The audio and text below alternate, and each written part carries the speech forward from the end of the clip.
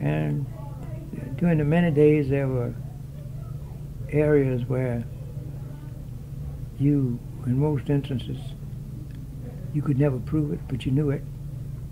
The ballot box. The ballot box that was in the polls, and many times, that's not the ballot box that went downtown. Most of them in areas, there were ballot boxes. There was always an extra ballot box on the premises.